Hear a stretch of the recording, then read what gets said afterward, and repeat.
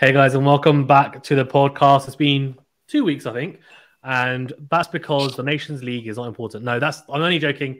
For everyone that loves international football, which I don't think is many of you, probably one percent of you, uh, we are going to very briefly touch upon international football, mainly because England are doing terribly, and that's when everyone starts talking about England because we all want to slate them.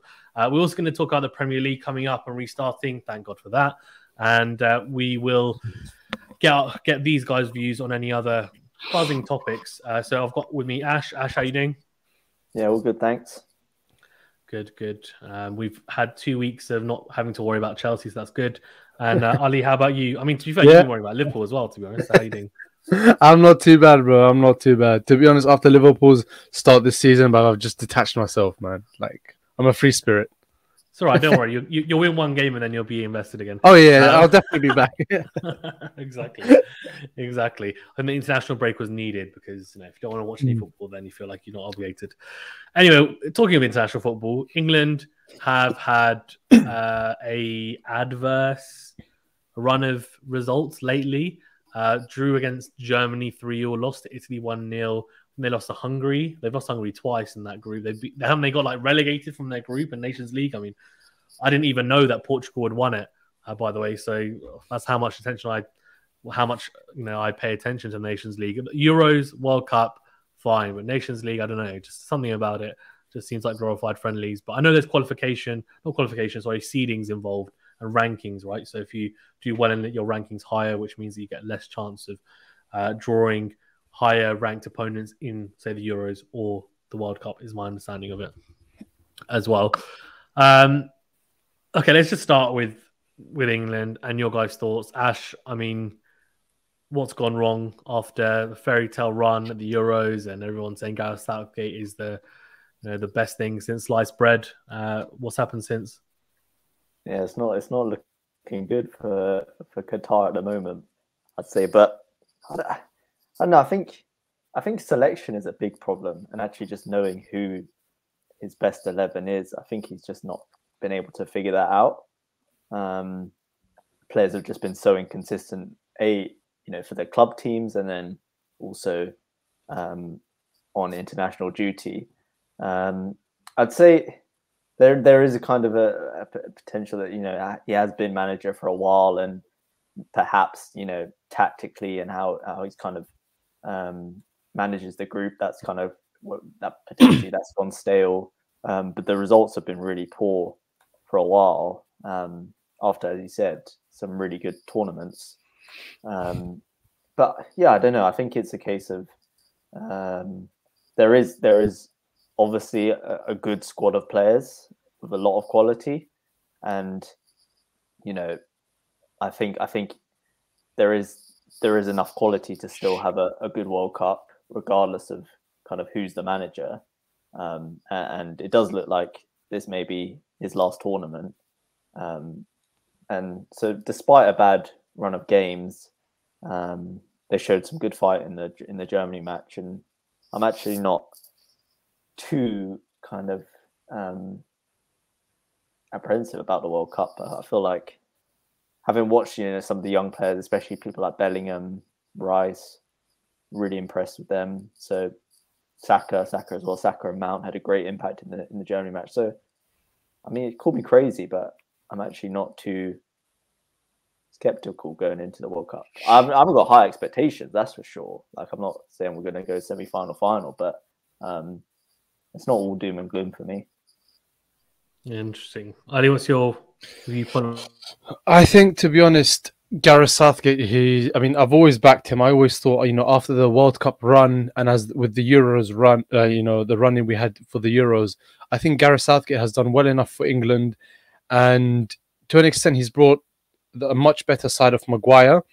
So, but I think his luck is starting to run out. I think he's everyone's starting to become irked by him by his selection of players. I mean, I understand he he chose like eleven defenders or so when he's got so many better attacking players.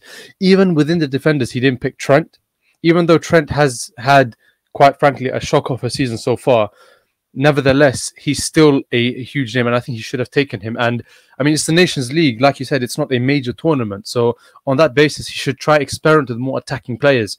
Maybe it could work out. Maybe he could come give him a different avenue rather than playing defensive all the time.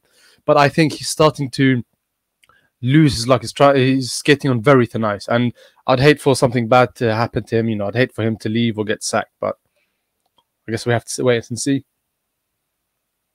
Yeah, it's an interesting one because I think it's quite easy for us, I guess, to forget the Euros and how well he did there. And you know, clearly he picked up an England side that needed a lot of care, a lot of kind of cuddles, and he gave that. You know, got the morale up, and obviously they did really well at the Euros, which was great. And look, I mean, the results haven't been good, but in saying that doesn't mean, as you said, Ash, they can't do well at the World Cup. I think the alarming thing is that they've got almost an embarrassment of riches, and I feel like they've got a much better team than that Euros team. Uh, but I'm maybe thinking that he doesn't know how to best utilize these players because they, he's got so many creative players. I don't think he knows how to get the best out of them, and that might be worrying because uh, at the Euros, uh, if I'm not mistaken, he didn't have Foden, um, and he didn't have like a Bellingham, right? So um, he had he had Kane and Sterling up front, and then he kind of just put you know blocks of four uh, behind him and said, "Look, try and get past us," or blocks of it would have been uh, if I can do my maths right. No, blocks of well, that's no, that's thirteen people. Blocks of three uh, behind Sterling and Kane whatever it was. So, um, yeah, I, I, just think it's an interesting one to to see how it gets on come the World Cup. But I'm I'm a bit skeptical about about his maybe uh, technical prowess or strategic ability to actually adapt as well and play a different brand of football. I feel like maybe he only has a plan A, and that's it. Mm. And it's like if you guys can't fit into my plan A, which is to kind of hit, hit you guys on the counter attack, or hit opponents on the counter attack, and be very, very solid at the back, then basically see ya. And maybe that's also why Trent didn't get included because he can be very kind of he can be very suspect to the back. So we'll see. Uh, actually, here's a quick question. I know you guys might not know straight away, but I mean, Ash, if you were to pick an eleven for England at the moment, like, what would be your eleven? Yeah, that's a tough one. Um, I mean, it has to be Pickford in goal after Pope stinker. I mean, I do rate Pope, but he just like it was flashbacks of Rob Green when he made that error for the Germany, the German, German's third goal. Um, I'd like to see uh, Maguire out. Um, Tomori, I think, deserves to be in. He's been really good for AC Milan. Uh, I just don't think Southgate really rates him and trusts him, but I'd like to see him in. Um, I think I think um, Kyle Walker's a good player, um, pretty consistent, and then I probably look to maybe. I mean, I don't want to, but Eric Dier as a so that's my back three, and then I go probably Shaw. I like Chilwell, but I think Shaw probably plays generally plays quite well for England. Shaw left left wing back, Reece James right wing back. Then I'd go Bellingham, Rice, Mount midfield, and then Sterling and Kane. Mm. I, like Actually, Saka, the other... I like Saka, but that's, yeah, that's the thing. The other question is, would you want to say, say you have full reign? Would you play five at the back? Yeah, I think I would. I think I would. Um, just because I think the wing backs, you know, could be a, a real threat, and it has it has worked for us in the past. Um, but yeah, I mean, yeah, I, I just think yeah, it suits a lot of the players in that team. Um, I know you know the Chelsea players, the Tottenham players, they all play in in in five at back formations. So um, yeah, I'll probably go for that. Okay. Ali, what about you? Ramsdale, Arnold, Tomori, Stones, Shaw, Bellingham, Rice, then centre attacking mid between Phil Foden and Mason Mount, On the right, probably Saka. Uh, and on the left, um, on the right, either Saka or Sancho. And on the left, so on the 4 2 3 3 1, on the 4 uh, 3 on the left, I would have either, um, what's his name? Uh, Grealish or what's, what's the play you just Sterling. said? Sterling. And up front, Harry Kane. Very Mhm. attacking, very, it utilizes the more attacking talent that England have, the more creative talent that England have. And especially if you have Foden and Grealish both play both English, both both play for City, I think it would help the team chemistry a hell of a lot more. Yeah, yeah. Uh, Ali's been playing FIFA. Obviously, he wants his chemistry up to 100.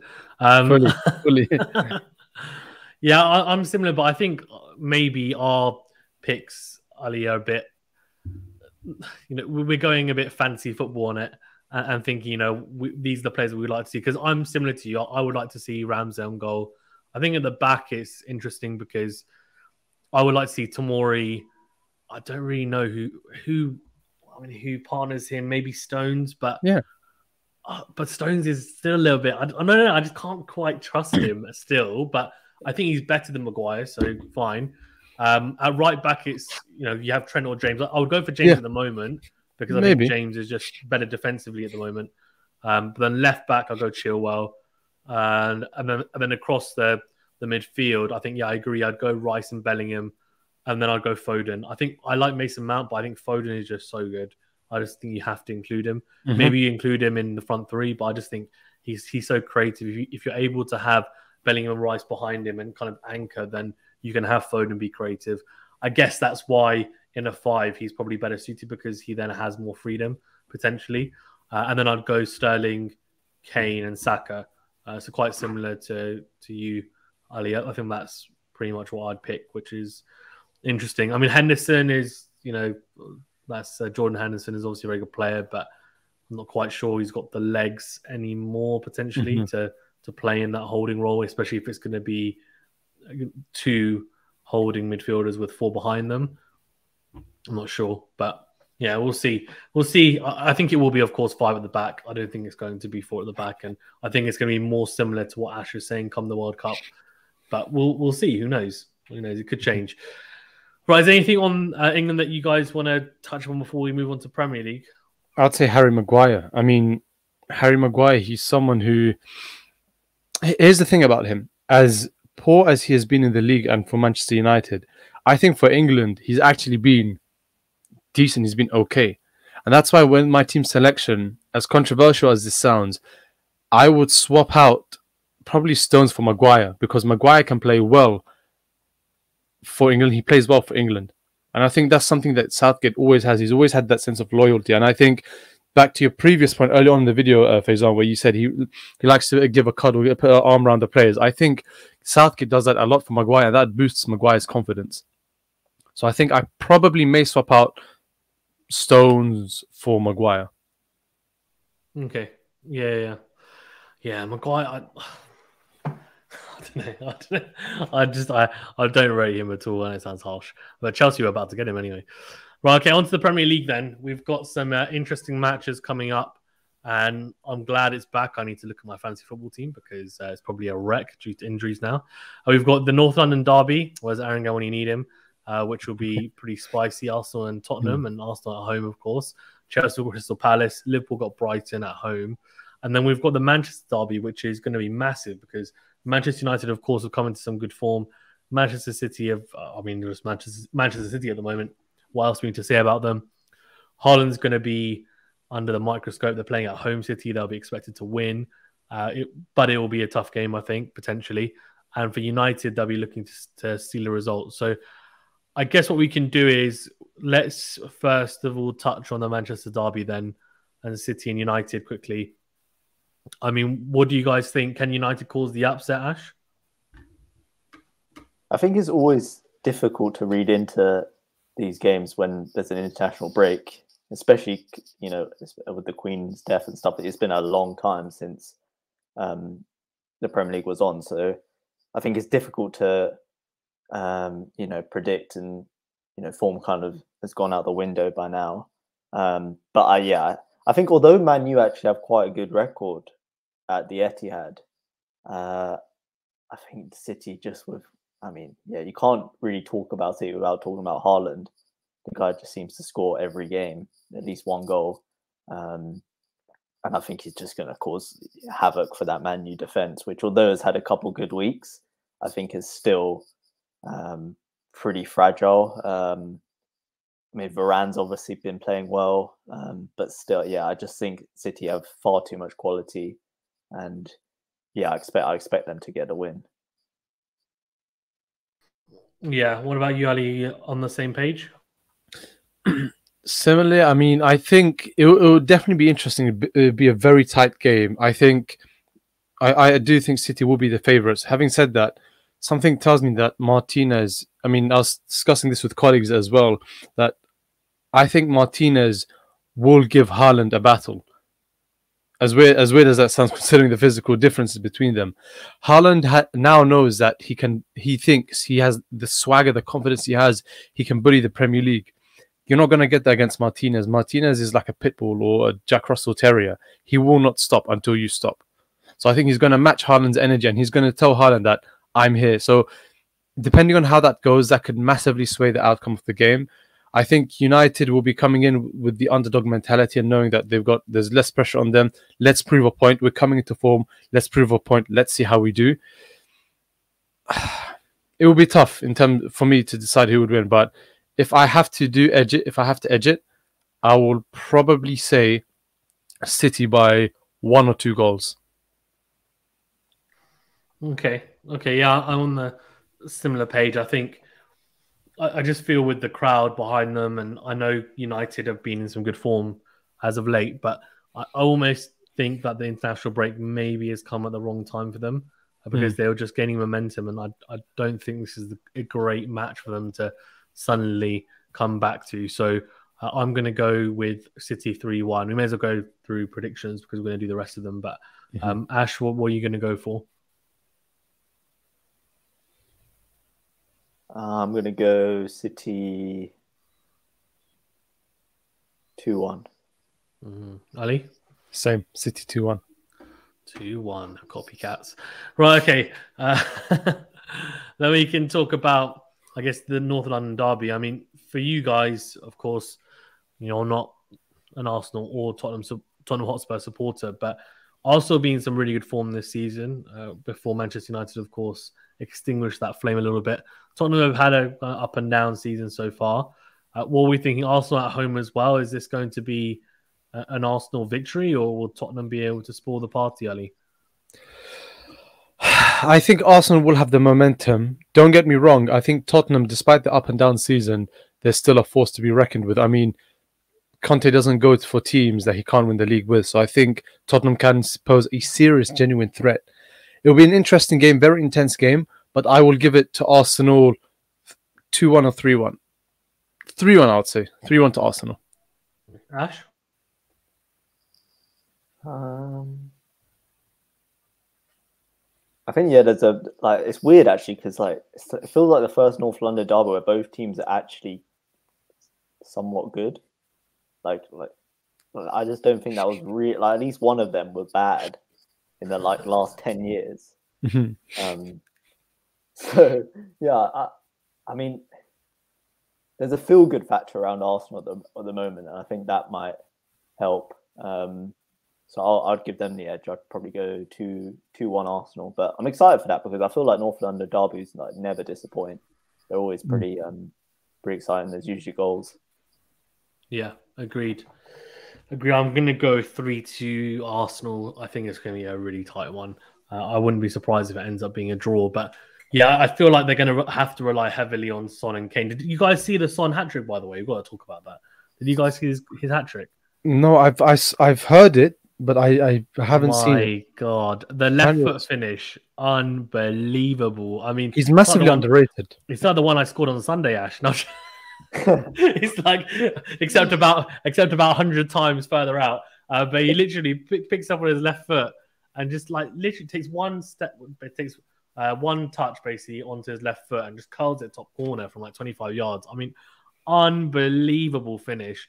Like with his weaker foot, which we know he's, I mean, he's almost two footed anyway. But I mean, it was such a good finish. The other two finishes are great as well, both from Well, one was from outside the box as well, uh, right foot uh, into the corner again, like from a long distance. And the third one was a bit bit lucky, but kind of got a little bit of a deflection of the keeper, but doesn't matter. Uh, Kane was being really greedy, screaming for it. And you're like, just let him get the hat trick. You're like 40 up, I think it was at the time. But yeah, anyway, it's just he's so good.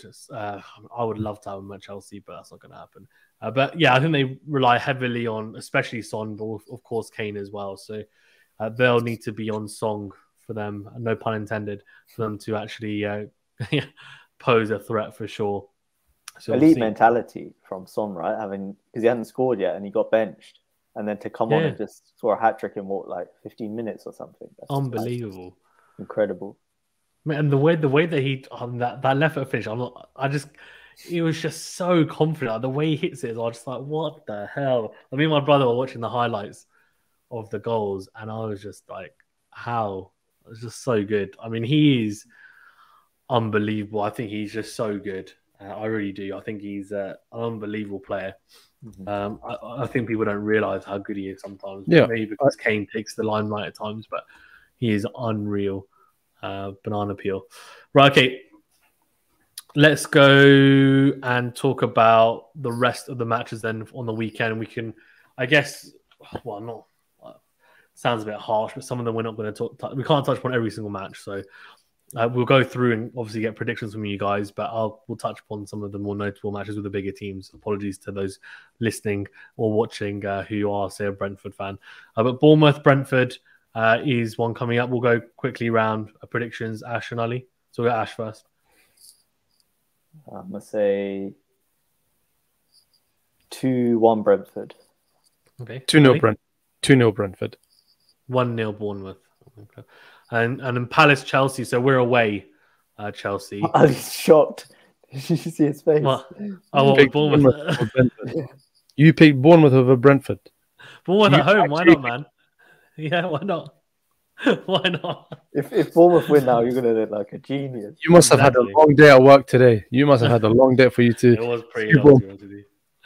Sorry, Brentford fans. Uh, Palace Chelsea. So Palace at home. Uh, no, I mean it's not an easy not an easy game whatsoever. I've I've watched quite a few Palace Chelsea games uh, at Selhurst Park. We should get the win. You would hope. I'm going to go two one Chelsea. But Ash, what's your thoughts and uh, predictions? I'm not confident. Firstly, it's Potter's first Premier League game, even though he's been here a while now. It seems. Yeah. He's, he's had like no players at Cobham. Because they've all been away on international duty. That's true. And yeah, as you said, Palace away is always a tough game. We actually do have quite a good record there, but Selhurst Park that is a tough one. I, I don't think we're gonna win. I'm I'm I'm gonna say actually me being confident, I'm gonna say one all, but I'm not confident at all. Okay. Ali? I say one 0 Chelsea, but it'll be hard fought win. Yeah. Yeah, it's always hard fought. Selhurst Park as Man City saw pretty recently, uh, getting the win, but they'd never beaten Patrick Vieira's side uh, in the last couple of years. So it shows how tough it is to beat them. Uh, Fulham Newcastle, Ash and Ali, quick predictions. 1 1.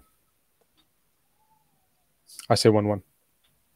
I'm going to go 2 2 Okay. I'm going to go 2 1 Newcastle. Uh, Liverpool at home against Brighton. Ash, what are you thinking? I'd say 3 1 Liverpool. I say 2 1 Liverpool for us. Okay. 2 1. 4 0 uh, Brighton. No. I'm gonna go.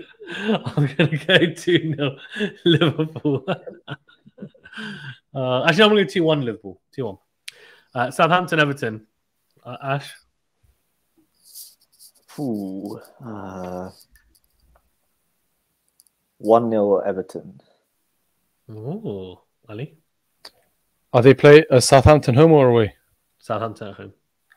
Uh, two 0 Southampton. Go one all. West Ham and Wolves. Ash, two Ws. Two. Two. High scoring game, Ali. 2 0 West Ham. Okay, I'm gonna go. I'm gonna one 0 West Ham. Um, we've gone through Manchester City and Man United, so Leeds and Aston Villa at Leeds. Ash, 2 1 Leeds. I say nil nil. oh, actually, that's true. We haven't had any nil nils. We've been pretty uh, optimistic with the the score lines, but now I'm gonna go. I'm gonna carry on being optimistic and go two one Leeds. Leicester, Nottingham Forest. Ash, I'm gonna go 1 0 Leicester. Hmm. Ali.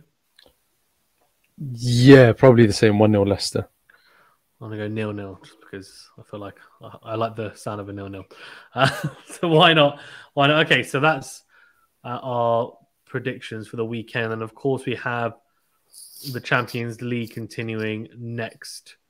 Uh, well, midweek, I guess, coming up, which will be nice because we've. I mean, the players must be absolutely knackered. They just come from international duty to now playing uh, not just on the weekend, but midweek as well. And they probably would have played two matches as well midweek and on the weekend for the. I mean, anyway, anyway, whatever. Doesn't matter. Liverpool, Ali are on a bit of a sticky wicket, of course. They're joined on three points with Ajax in second. Uh, Chelsea, we are, uh, I mean, doing even worse. we're, at the, we're at the bottom of, one point. So, uh, yeah, looking good. Looking good, Chelsea. So we've uh, lost one and drawn one. So and we've got AC Milan. So good luck to us. Uh, so I, I'm not looking forward to that. Anyway, anyway, enough said about that. Is anything you guys want to touch on before we wrap it up? No, nothing from my end. Yeah, Looking nothing forward to football being back, I guess. Yeah, it's good to have fullback. Lewandowski's uh, been banging the goals for Barcelona. I've, I've been watching, and that's been quite interesting to see. Barca, I'm quite sure what's going on there. I, I keep on hearing reports, which is just the same old thing that Messi's going to not renew his contract at PSG. He's going to go back to Barcelona. I'm just like, you guys wish. You guys wish. Uh, but actually, quickly before we wrap it up, what's your guys' view on Ronaldo? Because obviously he hasn't played, he hasn't started really any games uh, recently for Manchester United. And then for Portugal, a lot of people were saying he looked very old. I mean, just looked his age, and it's almost as if like over, not overnight, maybe in the last couple of months, age has really caught up to him now, and, and that's probably understandable. He's 38 years old. But uh, Ash, quickly, what's your thoughts on that? Do you agree? Yeah, I mean, yeah, it would make sense, right? He's he is definitely not young anymore, um, and I can, yeah, I can see him potentially moving away in January. I'm not exactly too sure where. I saw I saw one um, report came out. I don't know how you know reliable it was, but it was saying basically one of the reasons why Tuchel got sacked was because um, Boehly really wanted Chelsea to get Ronaldo, but Tuchel was very much adamant against that. Um, and then the guy even said he said he had an inside source, whatever, and he said Ronaldo was coming to Chelsea in January. Um, which yeah, again, not a clue on actually how much you can actually read into that, but Yeah. um, it seems like yeah, it's kind of coming. It's the beginning of the end for for for Ronaldo in terms of at Man U. I feel at least. Hmm. Ali, what do you think? I'm upset, man. Ronaldo's my guy, bro. Like Ronaldo is my favorite footballer of all time. So it's really sad to see him go through all of this.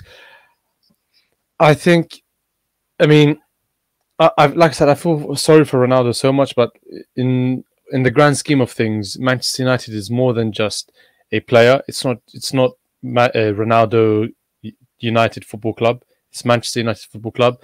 So if it works out better for the club for him to stay out of it, so be it. And like Ash said, I do see Ronaldo potentially moving in January. I think his hunger and desire is just what's pushing him towards competing at the highest elite level. I see him moving, if not in January, then definitely end of this season. Unless, unless, unless United somehow manage to qualify for the Champions League or and go very far in the other in the Premier League and the other domestic competitions. But I think, like I said, this is the beginning of the end for Ronaldo. And I think now he needs to manage it well. Otherwise, his career is going to go down for tatters and his legacy will be tarnished by how he, by the potential, you know, negative performances he's been putting in. or negative outlook he has. My view is that I don't think I don't think even if he was to not score a single goal for the next like two years, I don't think his his legacy would be tarnished because he's just he's banged in so many goals for such a long period of time and he's 38 years old. So I feel like this is now a new chapter in his career and it's a new chapter where he is old. Like he is old. I mean, he's he's still. I don't think he looks like a thirty. I think he looks like a 35, 36 year old because he's just that fit. But he, before he was looking like a thirty year old like last year. That, I mean, that's how good he looked in terms of uh, speed. And in, I think also he is managing his, his managing bursts as well, really well in games, etc. In matches, and uh, you know the quality never goes in that sense. But I think maybe with other players, they're like a Messi, they have the passing ability to like lean on, and they can be a playmaker and just like they can sit there, pick up the ball, just move it, pick up the ball, move it, move it, move it. Uh, and you know, obviously, he's still got some of those facets, but Messi, but he's you know that's he's becoming more and more into that kind of midfielder, uh, attacking midfielder, right? Which who who just takes the game. Ronaldo is not a bad passer of a ball, but he's not on that level. He is more striker, pace, power, heading ability right? He is taking on people. Taking on people has kind of gone to the back seat, but uh, it was those very, very short, fast bursts of just blowing teams away, blowing defenses away. Um, and I just think maybe with age, it just, I mean, it's amazing he's managed to elongate it for as long as it's gone on for. And he will go down as one of the greats, if not the greatest. I know in some people's eyes, but it is sad, but at the same time, it's understandable. And I think people need to give him a break in the sense that what do they expect, right? Father Time is undefeated in every single sport, and there's a reason why, like a great, like for example, Federer retired the other day because uh, in tennis, say because he's 41 years old and that's it. Like he can't do it anymore. His body's breaking down. Your body gives up. There's nothing more you can do. It doesn't matter if you've got the drive or determination or the mentality is still there. Uh, if your body's not gonna do what you want it to do, then that's it but yeah, that's my thoughts anyway on it. But thank you guys. I just wanted to ask because I've seen a lot of people talking about it, and obviously a little bit upset about it. And uh, I, I can see why, especially if you're a massive Ronaldo fan. But I wonder whether he could just be maybe how Ibrahimovic has been for the last few years, which is uh, being a substitute, coming on and having an impact in say 20 minute bursts.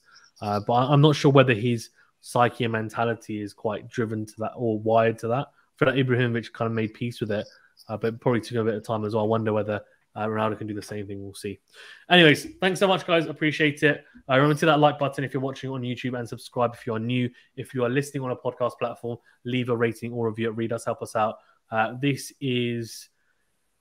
I don't know what number podcast. I think it's number eight uh, of the Quality Shot Football podcast, and we hopefully will be back next week and with a lot more to discuss because Premier League would have finished uh, on the weekend, and hopefully if we can maybe do it, time it well so the Champions League matches are finished as well. Thanks very much, one guys. Stay safe. Oh, go on, go on. One last thing. Where where oh. where does he go? Where does Ronaldo go next? Like if he moves, I genuinely like he's done Italy. He, he might just go to the MLS or something. No, I don't think he'll go MLS after uh, United. No, he'll stay within Europe. He will fight for the Champions League. Ronaldo he'll fight for the Champions League. He'll fight With to who? play the Champions League. Could he join PSG? PSG could be Chelsea. If Chelsea looking for marquee signing, I see. I do not see him dropping out the Champions League.